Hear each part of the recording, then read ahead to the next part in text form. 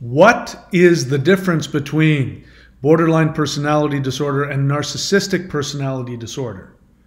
Are they different? Does the borderline have empathy and the narcissist not have empathy? Are they two sides of the same coin? I'm going to tell you what is the same about these two seemingly different mental illnesses and what is actually different. And most importantly, I'm going to tell you how you appear to each of these mentally ill people, the borderline or the narcissist. Uh, my name is Mike, and this is my channel, uh, The One Thing That Heals BPD and NPD Abuse. I've just come out with a book, How I Survived My Borderline Girlfriend. You can find it on Kindle and Amazon, and it will be on Audible. You can find that at audiobooks.thunderwizard.com. All right, so let's get back to the subject here. Borderline versus narcissist, two sides of the same coin. There's a lot of confusion. What is the difference here? How is it you can have a borderline comorbid narcissist. How is that even possible? What is the role of empathy? Does the borderline have false empathy, but the narcissist have no empathy? Does the, does the borderline have actual empathy?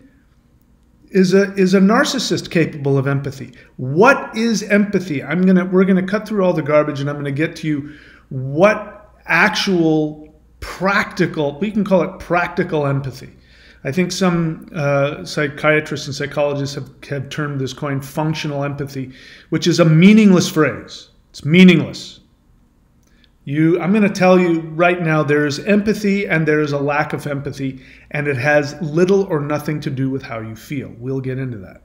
So, before I go any further, let me just say that um, the focus of this video is for the survivors of BPD and NPD abuse and you know, a lot of a lot of borderlines do watch my channel for whatever reason I don't know, but you're welcome here. Let me just say that borderline personality disorder is a very serious, very serious mental illness, and I cannot imagine the daily, moment by moment pain that the borderline goes through. I actually can imagine it, but if I could snap my fingers and relieve the world of one illness, without a doubt, it would be BPD. Because how these people survive this pain is, you know, is amazing to me. Having said that, um, most borderlines, I mean, almost to to a person, do not have any idea the effect that their symptoms have on other people. We'll get into that.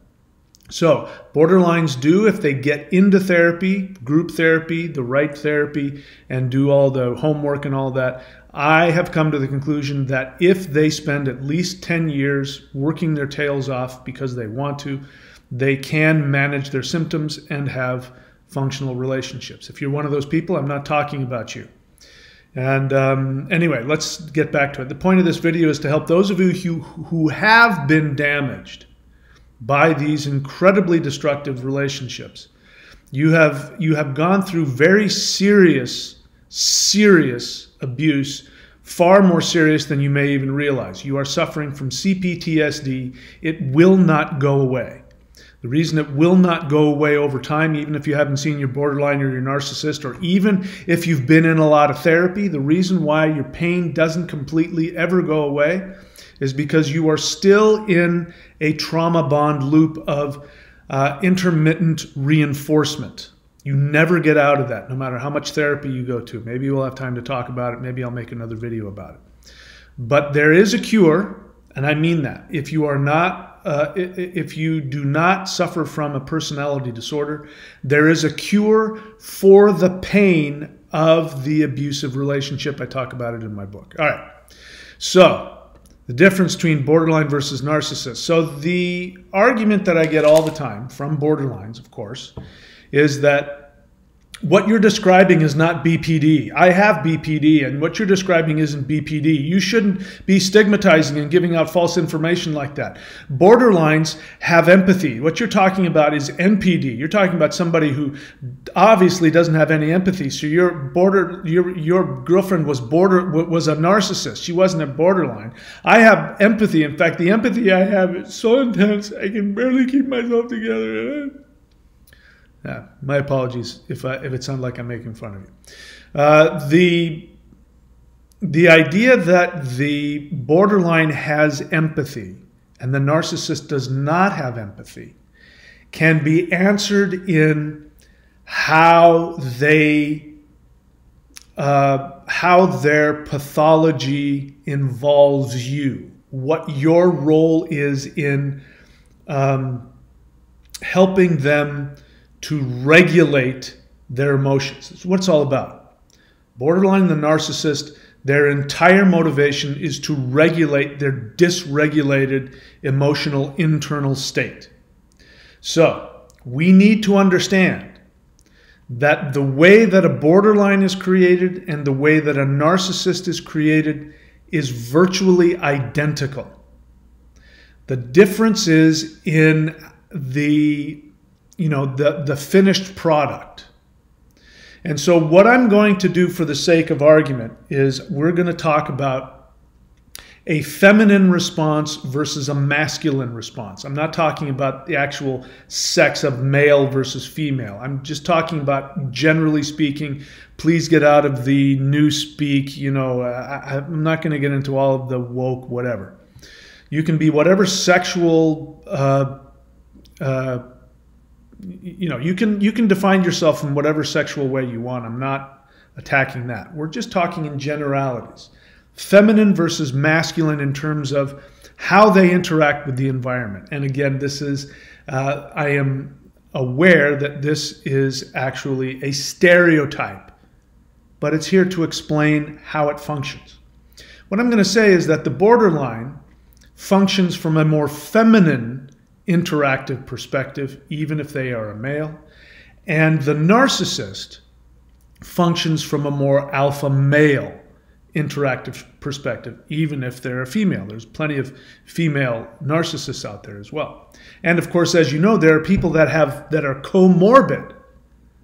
So if these two borderline versus narcissist are so completely different, how is it that you have this comorbidity? It's because it's actually a spectrum. Now, most people, when you talk about a spectrum, like your typical uh, uh, super empath, on YouTube will say that there's a spectrum. That on one end of the spectrum is the super empath, and on the other end of the spectrum is the narcissist. If we actually apply that spectrum to borderline versus narcissist, I'm in complete agreement with them. But what it means is that those people who identify as super empaths are actually borderlines. So, yes, borderline versus narcissist is a spectrum and if you're with a borderline or a narcissist or somebody who is almost certainly comorbid, they're somewhere on this spectrum of how they seek to, to modify their dysregulated emotions. It is a strategy that they, you know, for whatever reason came up with as infants. So let's first talk about the extreme end, seemingly, because actually, if we understand it's two sides of the same coin, it isn't a, a, gradation of one is less than the other. Let's get rid of that nonsense altogether.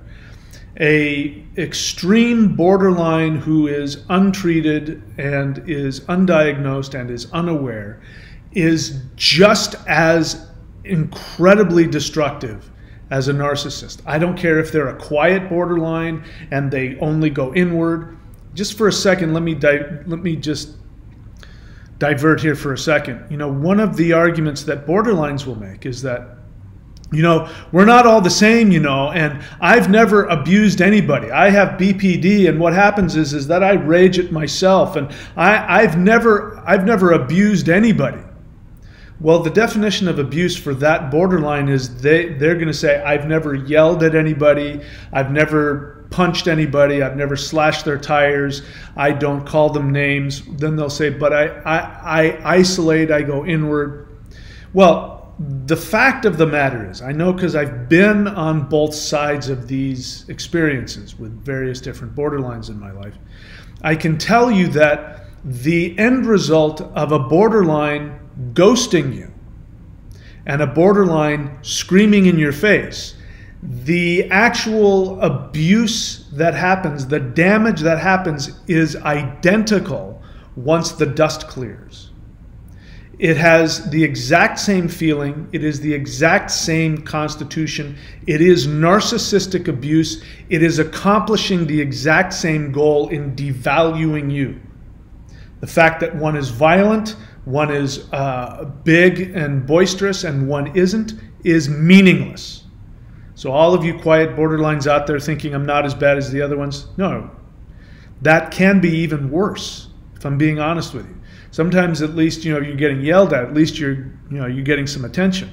But when somebody ghosts you, disappears on you, ghosts you, disappears on you, and sleeps with your asshole cousin in Vegas, that can be even more devaluing and painful than if somebody's standing there yelling at you, punching you in the face. So let's get rid of that nonsense uh, right off the bat. Uh, there is no difference in quality of narcissistic abuse. The end result is always the same. It feels exactly the same. If you take two people, one person who's been um, with a quiet borderline for five years, and you talk to somebody who's been with a full-blown NPD, who's you know beat them up and slashed their tires and you know everything like that. When you simply listen to them talk about the feelings that they have, the quality will be identical. What is the end result of that? The abuse is the same. There is no difference. Why is that? Because it's two sides of the same coin. It's a different expression of the same internal, fundamental mental illness, just a different expression. I'm using the uh, I'm using the symbolism of masculine versus feminine. So let's get into that. So let's start with a narcissist on the ex- supposed extreme end. The narcissist. Uh, the narcissist, uh, what they do as an infant, because they were not mirrored back to as a child, they were not loved, they might have been extremely abused, but at the very least, they were neglected and they were left alone to create their own identity, which an infant cannot do on its own. So the end result is that the infant was forced to create their own identity instead of creating it in cooperation with their parent mirroring back to them who they are.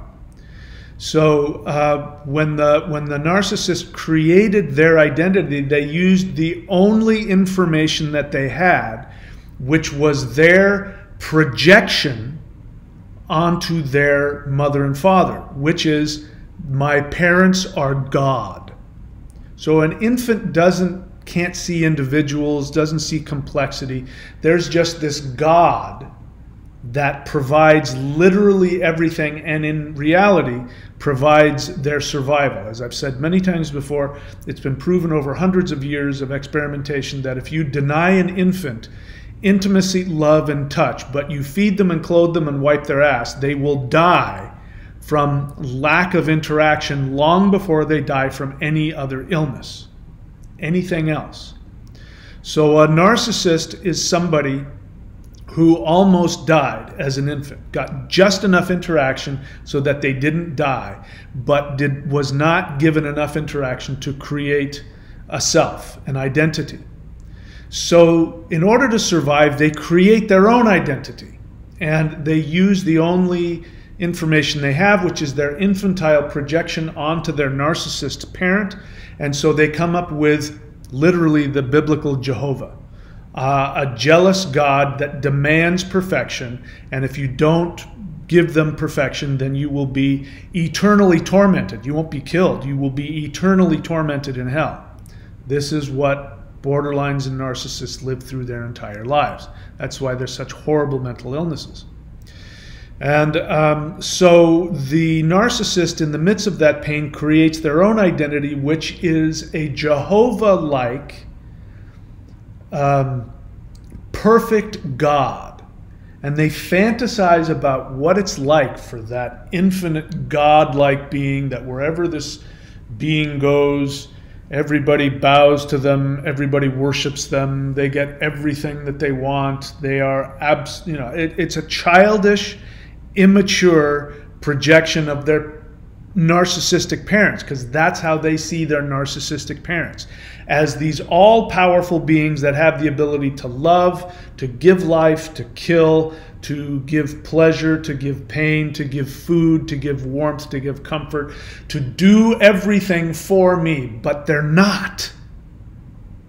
And in that hell where your God is not interacting with you, you create a false God, which is your internal fantasy. Now, the borderline, excuse me, the narcissist then completely farms out their identity to this non existent internal fantasy of themselves. Now, God being God, we can use Jehovah, a very good example. Jehovah created the universe and then he decided to create man because he was alone and he wanted to interact with somebody. So he made man in his own image, which was really meant Jehovah's lonely. He wanted to talk to somebody. But being Jehovah, he didn't want an equal. He wanted them to, you know, worship him. So he created an Eden. I mean, again, it's what we're talking about. The biblical Jehovah is really just a perfect example of the narcissistic pathology. It's perfect. They create, he creates this Eden where there is no sin. Sin means imperfection. So he creates this place where there is no imperfection. And in that place where there is no imperfection, he creates his own image human beings. And these human beings are naked, meaning they don't have any boundaries. They don't have any self awareness because the sin that uh, in the Bible that you know Jehovah says to Adam and Eve is that you know why are you wearing fig leaves? Well, we became aware we were naked. Who told you you were naked? That was their sin. Their sin was becoming aware that they didn't have any boundaries. that was their sin. I mean, you know, I, am not making it up. You can read the Bible yourself. So they don't have any boundaries, and that is the uh, that is not just a tiny mistake.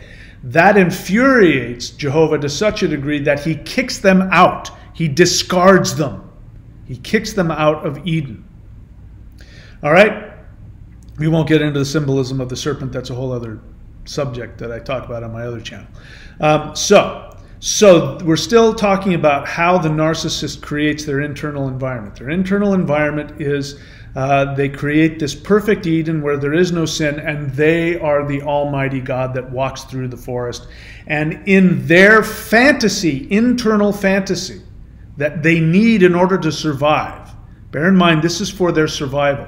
If this fantasy stopped working, they would die. Literally, it would kill them. The pain would kill them. So they need to keep this internal fantasy going all the time. And so this internal fantasy is going where this God lives there, and they farm out to this God that they've created the, their own regulation. And they get it from, in the fantasy, this God going down and everybody worshiping him, and they live in this Eden, and it's perfect, and you, you love me, and I deign to love you, and all of that. All right?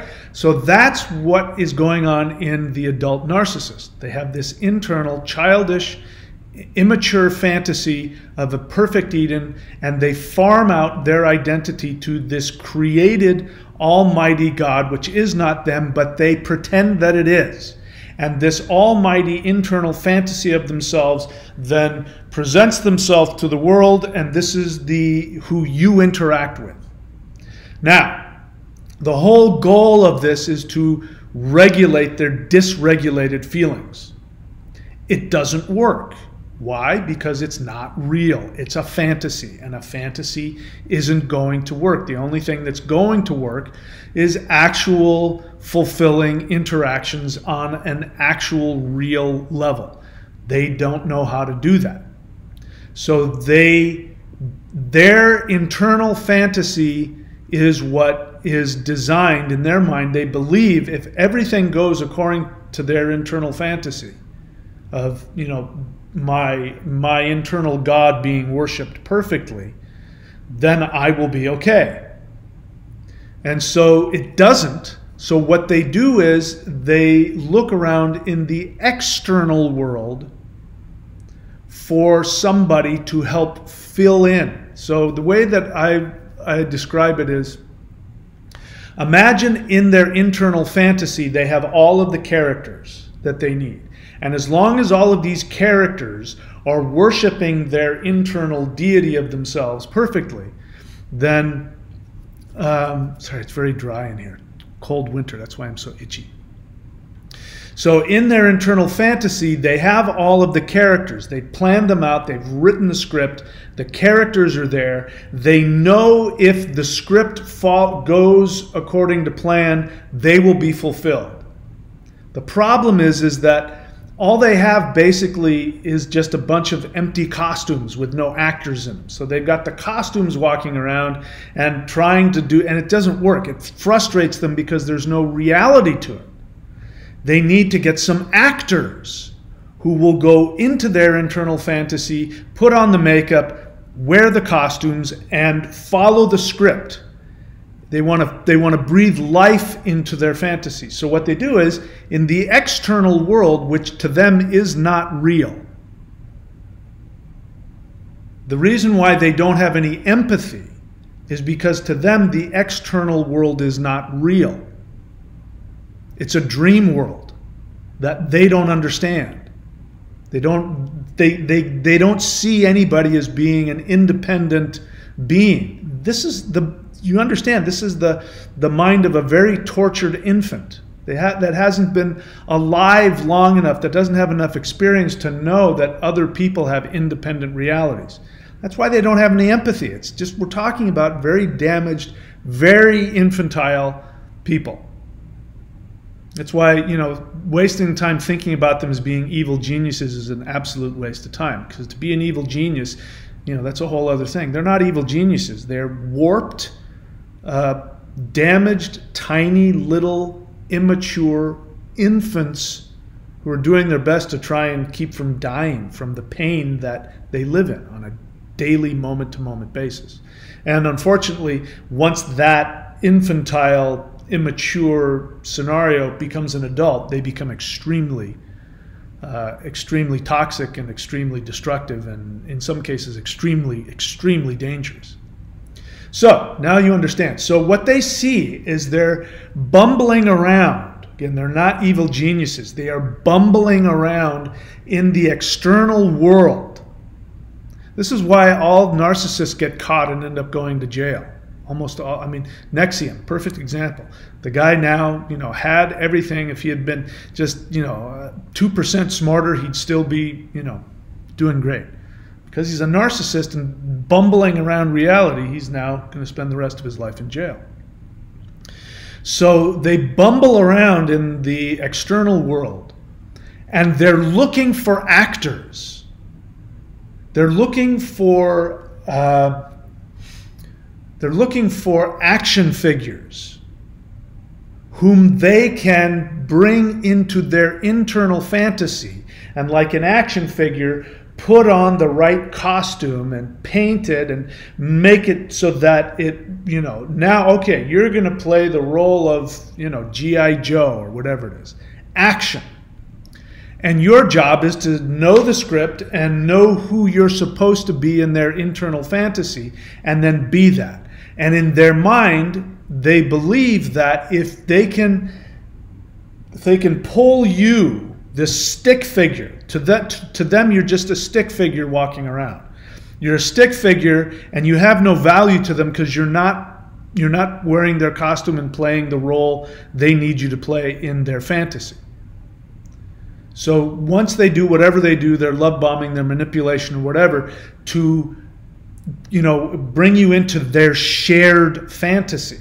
It, it, it's a shared fantasy when you buy into it. It's their fantasy, and then they want to infect you with it, and then it becomes a shared fantasy. As the codependent, then you become unconsciously entrained to go like a like a dog. Train me, tell me what to do, and I'll do it so that you will be okay, and then you'll love me. So by the way, make it let's be very clear. If you're watching this channel because you relate to what I'm saying being on the victim side of this, it's because you are damaged also. If you didn't have a switch in there to get flipped to play this role, you wouldn't. They number one, the the narcissist can see who is available and who wants to to uh, be part of a shared fantasy and who doesn't have that.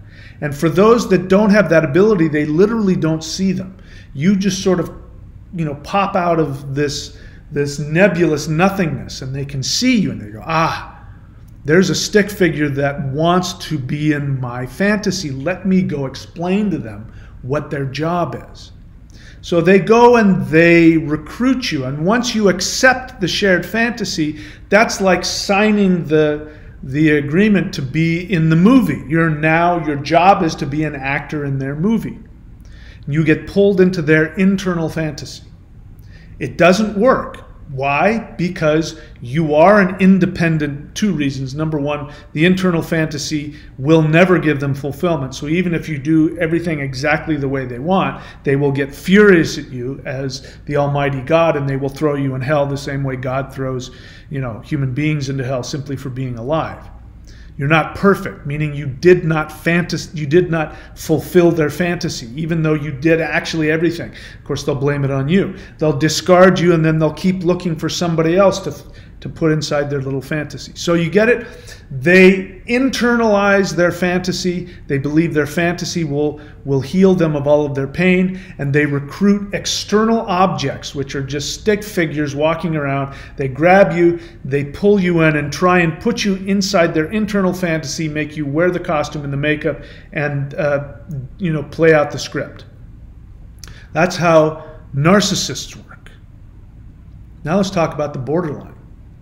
So the borderline, um, now, so you, the narcissist is more masculine because the narcissist, like uh, like Jehovah, and there's a reason why Jehovah is a male. The reason why Jehovah is a male is because he's the, you know, the alpha who controls everybody. So the alpha male is somebody we associate with somebody who controls things. You do this, you do that, follow my orders, and everything will be all right. It's the alpha male.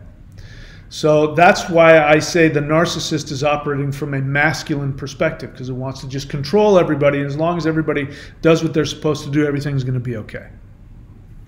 Borderline is operating, again, on a spectrum, the, on the far eh, other end of the spectrum. The borderline is operating from a more feminine perspective. And the feminine perspective is instead of internalizing their fantasy, they externalize their fantasy. What that means is objective reality becomes their canvas upon which they project their fantasy. The difference between the borderline and the narcissist is the narcissist wants complete control, wants to direct the show. They're going to recruit you, pull you into the internal, to the movie, and then they're going to direct everything that you do. I, you know, as I've been an actor before, so it's like, listen, it doesn't matter what you think. Here's the script. Do your job. Uh, hit the lights. You know, hit your mark and say your line, and um, let the script do its work. That's you know, a lot of directors will will work that way. Uh, the borderline is more of a of an artist who wants to express externally onto a, the canvas of objective reality. The same thing, her, her fantasy. So she externalizes her internal fantasy. She has the exact same end goal as the narcissist, which is regulate my incredibly dysregulated emotions. I, if, if you're borderline, uh, you are um, an infantile, extremely immature, infantile little little being in an adult body, and you want the same thing. You see your happiness will be given to you by God. God will give you everything. So you want to be the supplicant, you want to worship, whereas the, the narcissist wants to be God and wants to be worshiped. You want to worship God so that God will give you everything. It's the ultimate codependent. So you want God to give you everything. So it's more of a passive thing. So what what the borderline does is the borderline again in external reality does not see human beings as having their own individual identity. They don't. They are stick figures walking around. So, in both cases, for the narcissist, external reality is this unreal dream with a bunch of stick figures walking around that he grabs onto and puts into his internal fantasy. The borderline sees external reality as this canvas, and there's a bunch of stick figures walking around that she projects outwardly onto. So she doesn't want to grab you and pull you into her internal fantasy.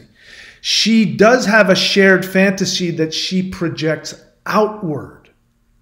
Your job is then to be sort of hit by that outward projection and then be seduced into it. You get seduced into it, and then she wants to be part of the show.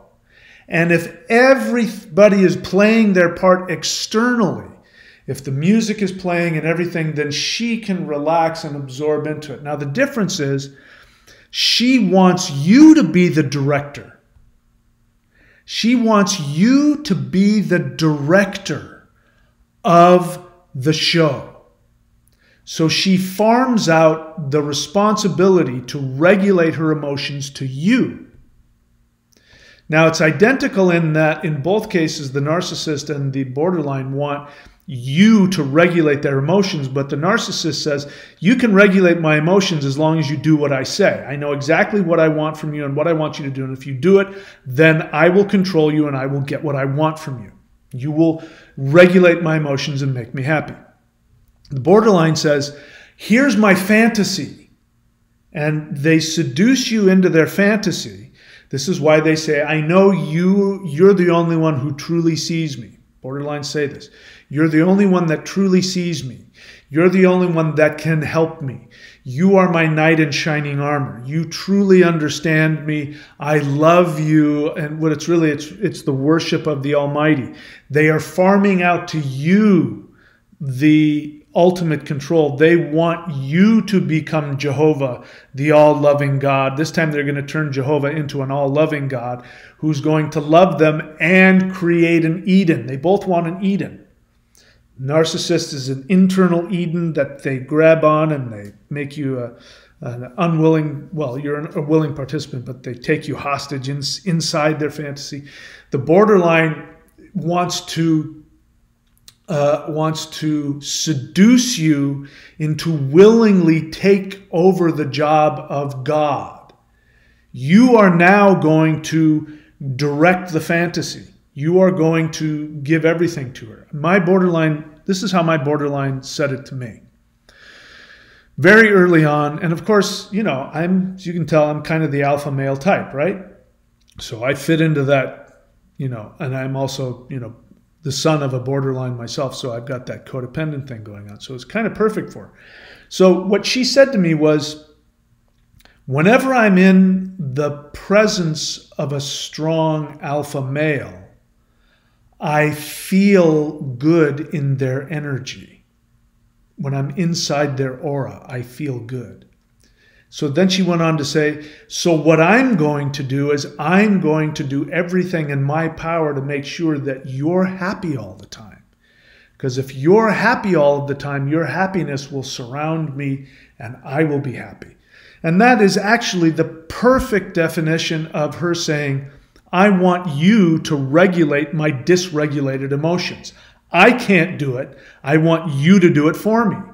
In her fantasy, as long as I am playing the role of the benevolent God who is able to keep everything and with my energy I my energy comes out of me which surrounds her and then she is pacified her you know her she's regulated and then she will worship me forever again very childish very very infantile what what infants want to do with their with their parents. They want to worship their parents and in exchange be given all the love. The narcissist wants to become God. The borderline wants to wants you to be God. So, as great as that sounds, the same thing applies. For the borderline, the fantasy can't work because it's a fantasy. And you do not have any value. You don't have you're not a person. So even though they are, you know, they they are uh, worshiping you as a god, as a parent, even though that's, that feeds your codependent, uh, narcissistic ego, your need as the as the codependent is you get your value by meeting somebody else's needs and then being loved. Um, the borderline is saying you will make me happy if you do what I want, and then I will worship you. And you'll say, Oh, as long as I can be what you want and get value and relevance in the world, tell me what the role is. And then, yes, please worship me and give me everything I want and give me all of the, the all of my needs met. But it can't work because it's a fantasy and you are again a stick figure. You're a stick figure walking around, and like the narcissist, they can only see the stick figures that have a switch in them that says, I don't have any value unless I can make you happy. And they see that, they go, ah, and then they come to you. They project onto you, which is, if you think about it, it's a form of violence. They're not, they, they're not interested in seeing who you are. They don't want to get to know you. They want you to be this perfect, all loving, all powerful God who will meet all of their needs. They're not interested in you being an individual with your own desires. Your desire is just to be worshiped and be perfect and meet my needs. It's very childish. But in both cases, external reality is where all the stick figures walk around that don't have identities, that don't have any feelings, that don't have any real life.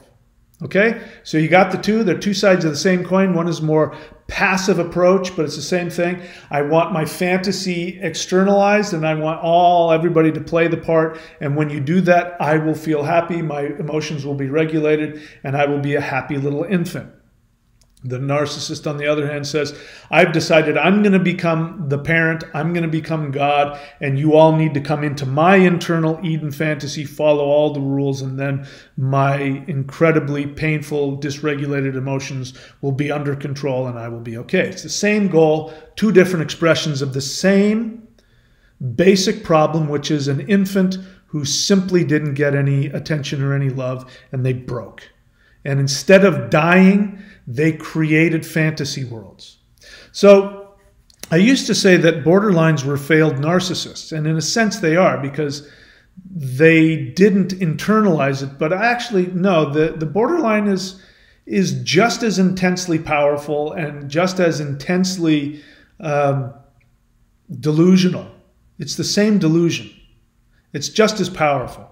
The difference is we get into now when it comes to empathy, false empathy versus no empathy.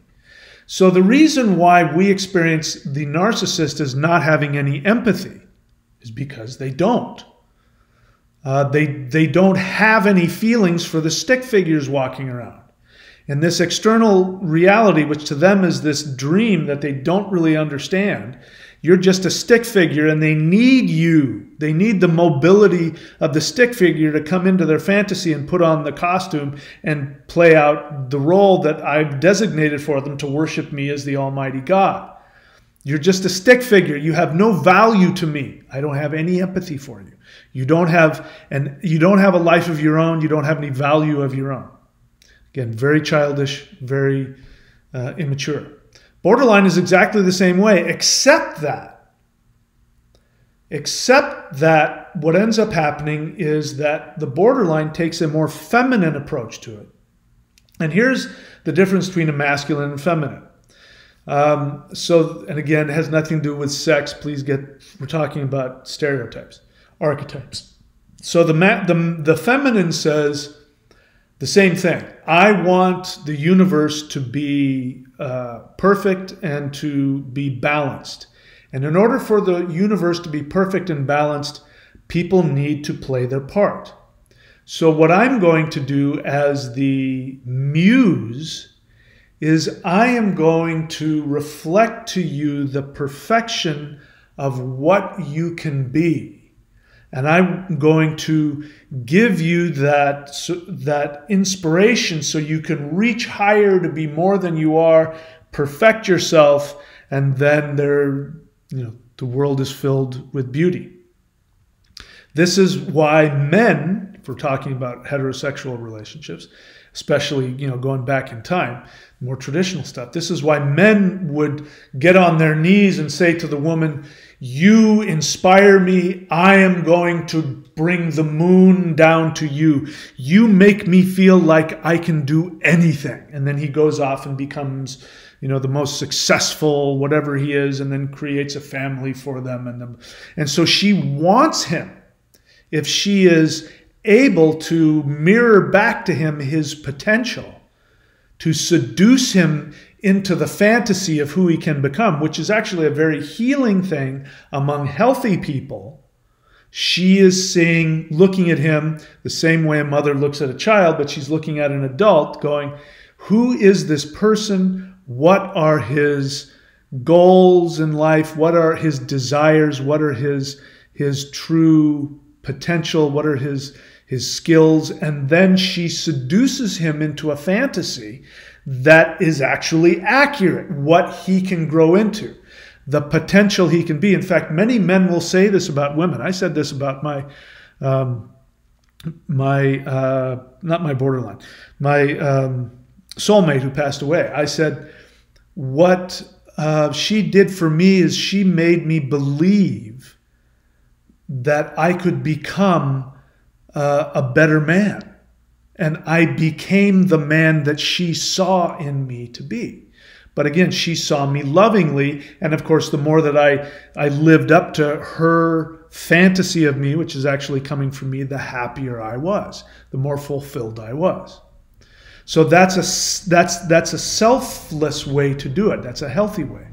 The borderline isn't healthy. The borderline is a warped, excuse me, is a damaged infant who has an infantile, immature fantasy.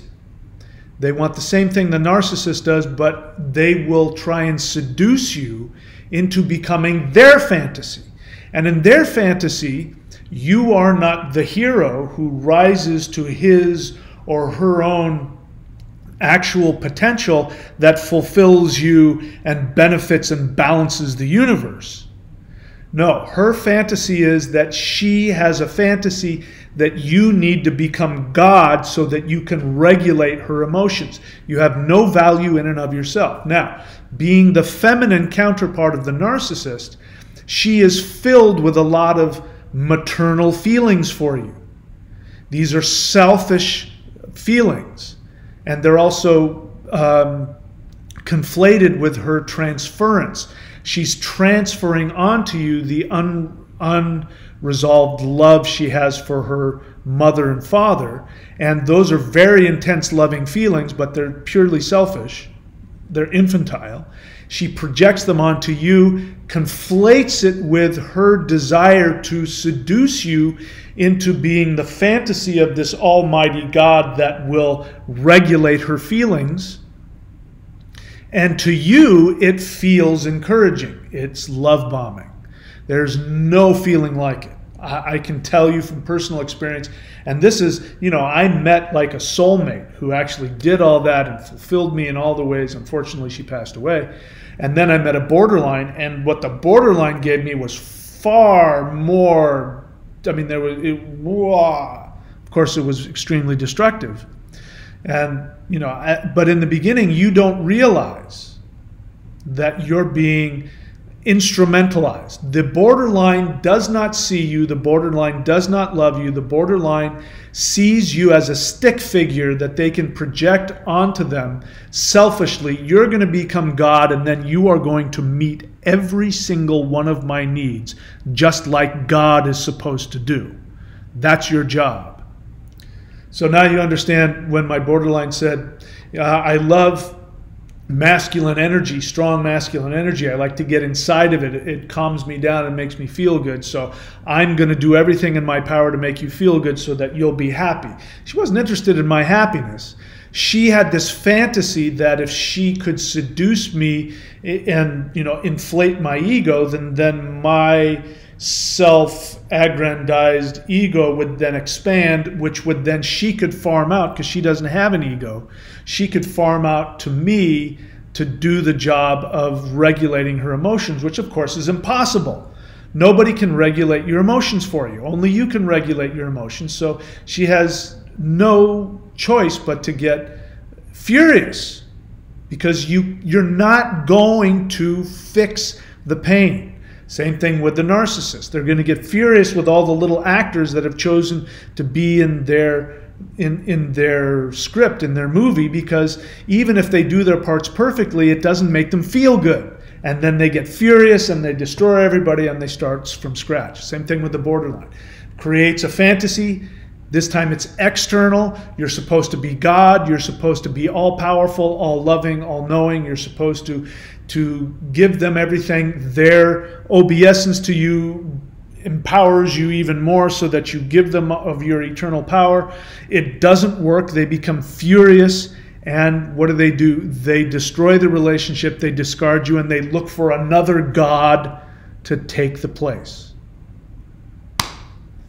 So, the empathy, last thing we'll talk about empathy.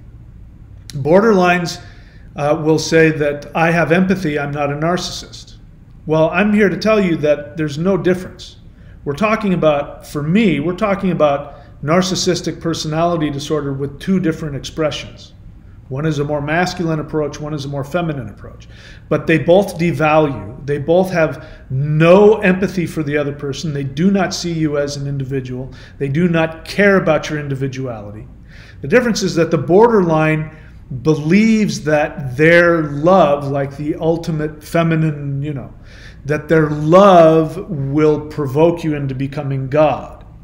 So they have these intense feelings that resemble empathy. You, tears, lots of love, uh, feelings of loving feelings. But here's the thing empathy is not a feeling, love is not a feeling. Empathy is an awareness that says, I empathize, I feel in, which is not a projection. You can project onto somebody, a little puppy or a kitten, oh, they're so cute and so lovable. Well, you're projecting your internal love. There's nothing wrong with it because as long as you have empathy while you project, it's fine. But if you don't have empathy, your projection, which is your narcissistic experience, tears coming down your face of how much love you have for them, and I would die for this being, is coming from need and it's coming from transference and it's coming from projection. Because the moment that you stop having that squishy feeling, what does a borderline do? They drop you like a used candy wrapper. Empathy says, I see that you are an individual. I know that what is most important for you is I act in a way that is helpful to your individual functioning and health in the world, regardless of how I feel. Now, it's great when you do have all those squishy projections, transferences, and all those, you know, empathetic feelings. That's great. But true empathy doesn't end when the feeling ends. With borderlines, they will say, I'm full of empathy. You're full of transference, you're full of projection, you're projecting onto somebody else the love you want them to have for you, and you have this uh, feeling you, you can you know you can feel the love coming out of you but it's it's not because you're actually thinking to yourself i want what's best for that person. When you're in a bad mood and you're not getting what you want and, and you're not you know having a good day if you can still say the same loving things do the same things and then not be angry about it afterwards then you can say you have true love and true true empathy. Borderlines if they're untreated, undiagnosed, and or toxic, don't have this. They have empathy, which is again them um, trying to seduce you into a feeling so that you will play the part, which will eventually make them happy. You know, while they're doing that, you know, uh, mothers are great at this. Their mothers are great at at at um, you know, a, a making their kids feel good, making their husbands feel good, and they know that they're doing it for the benefit of the family, and that makes them happy. Borderlines are selfish. They want their own needs met, and they can't tell the difference. So they will cry and say, You don't understand. I am full of empathy, but it doesn't last. Bottom line is, if your squishy empathy love feelings do not last, And if you do not act identically when you're in a bad mood as when you are when it feels good, then it's not love and it's not empathy. Then it's objectification and it's incredibly abusive. I can tell you from personal experience, there is nothing more abusive than being led to believe that somebody really truly loves you and pours love on you and affection on you and gets you bonded to them and then discards you at the drop of a hat because they lost their feeling. There is nothing more abusive than that. And it doesn't matter if you're yelling and screaming at somebody when you do it. If you're a quiet borderline and you disappear, you ghost them, you kiss them and say, Thank you, I've got to go, I love you, I'll talk to you soon, and then you disappear and go off to Vegas with somebody or crawl into bed for a month, it doesn't matter. It's the same as if somebody said, I love you, wait, no, I hate your guts, you're a worthless piece of crap, I'm going to slash your tires. The end result is exactly the same. All right? So, hopefully that clears that up. Bottom line is is that the narcissist internalizes their fantasy and then takes control and becomes the director grabs you takes you hostage and pulls you inter- into their fantasy. The borderline externalizes her fantasy onto a canvas and then tries to paint onto you the colors that she wants in order for the fantasy to become real. In either case you are nothing. You are just a stick figure for him or her to use so that you can regulate their emotions. You have no meaning other than that. If you want to heal from the pain, and if you're not a disordered person, you can actually reverse the insanity within you, the functional insanity of your codependence, and you can completely heal the pain. I mean that. And if you haven't completely healed your pain, it's because there's one thing you're not doing. Get my book, How I Survived My Borderline Girlfriend, which will explain some of this in more detail. And um, you will learn how to completely, once and for all, heal the pain, not only of that relationship, but it will also make you invulnerable to a narcissist or a borderline. But you have to heal first. I tell you how to do that in this book. How I Survived My Borderline Girlfriend. All right, that's it. I hope that was informational. I hope I got it all out. Thank you for watching it all the way to the end. See you guys soon.